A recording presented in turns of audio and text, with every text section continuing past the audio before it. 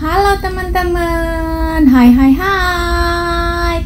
Assalamualaikum. Ketemu lagi dengan saya Fadisti. Kali ini saya akan membahas tentang peralatan baby Peralatan mandi, makan, dan lain sebagainya. Sebelum lanjut untuk mengikuti video selanjutnya Jangan lupa ya klik tombol di bawah ini like, comment, and subscribe yuk kita lanjut yuk let's go let's go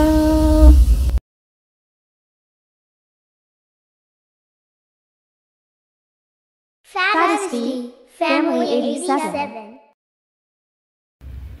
Yuk, ikuti keseruanku hari ini yuk. Let's go. Kali ini teman-teman, saya ingin membahas tentang perlengkapan baby, mulai dari perlengkapan makan, perlengkapan mandi, dan lain sebagainya.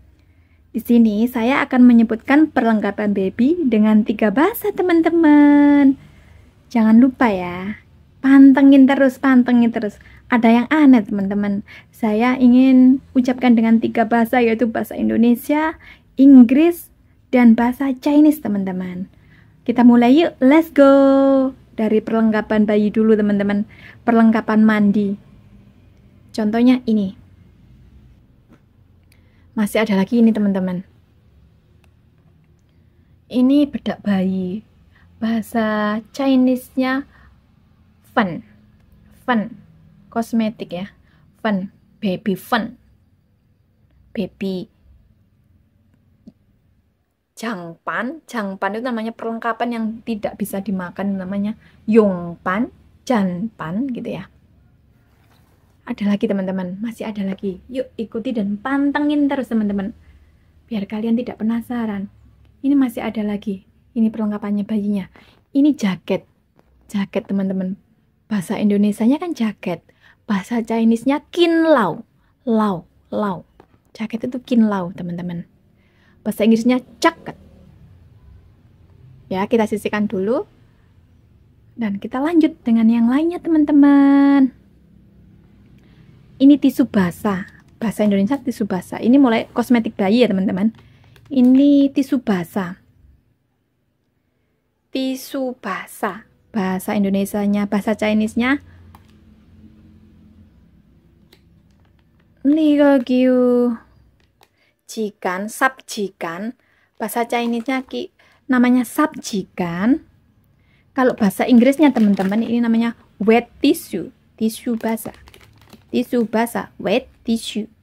Sabjikan, sabjikan itu Chinese, bahasa Chinese-nya teman-teman.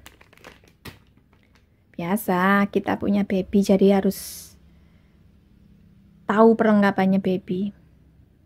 Kalau ini minyak telon, itu ada parfumnya bayi, bahasa Inggrisnya cologne baby. Ini powder baby, ini powder baby, bedak baby. Harum nih teman-teman, rasanya seger kalau anak bisa mandi dipakai bedak ini teman-teman.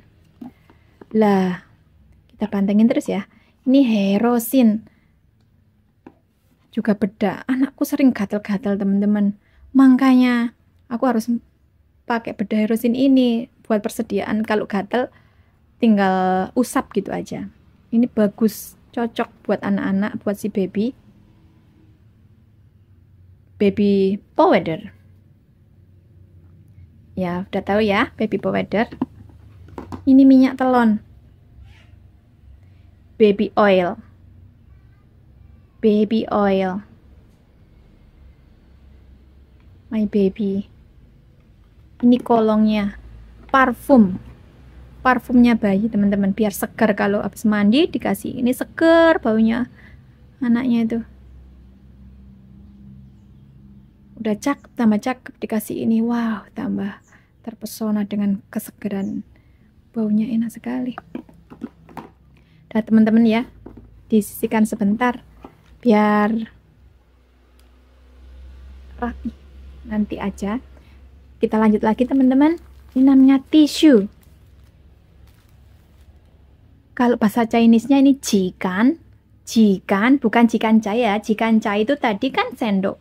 Emang hampir sama teman-teman. Jikang sama jikan. Ini tisu jikan. Kalau jikan itu sendok.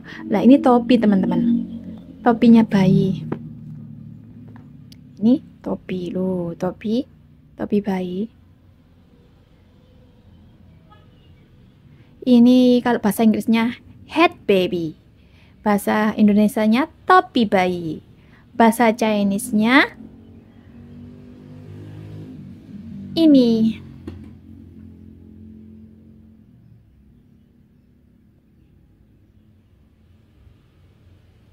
Bagus sekali warnanya.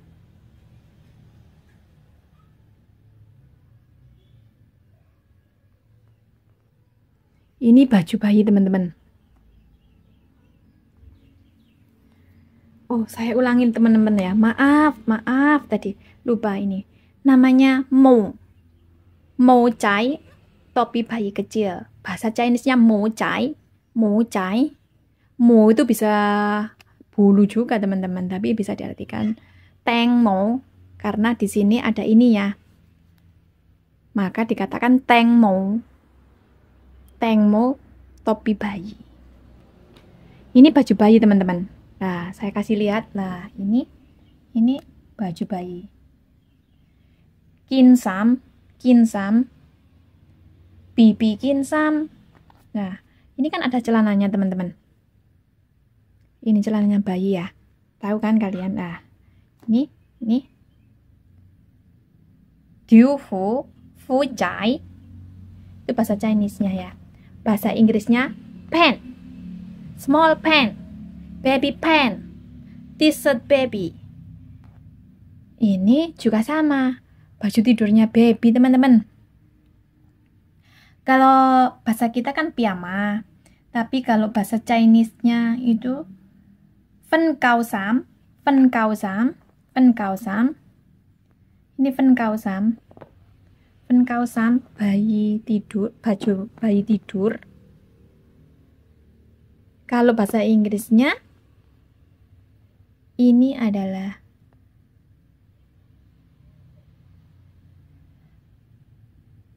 t-shirt sleep, sleep t-shirt.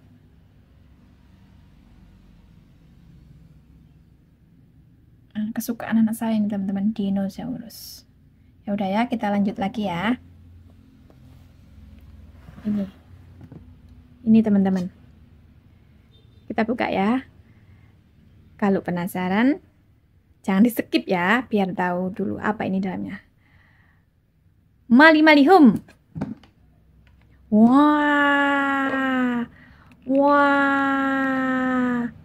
Wah. Wah.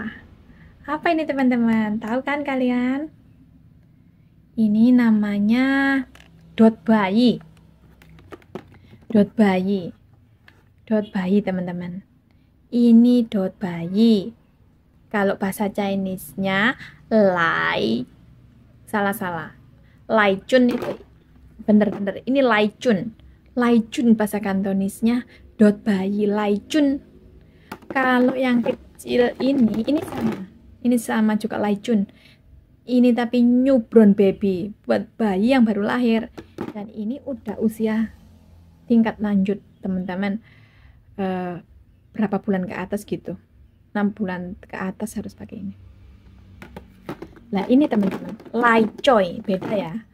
Ini karena empeng bayi. Itu namanya lai choi bahasa Chinese nya kalau bahasa kita kan empeng bayi.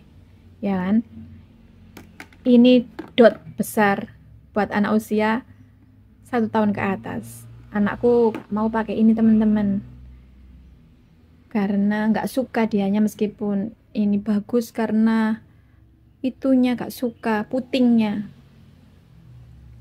Ini sebenarnya masih banyak teman-teman karena waktunya sudah mepet dan kita harus kerjakan yang lain, maka sampai di sini dulu teman-teman.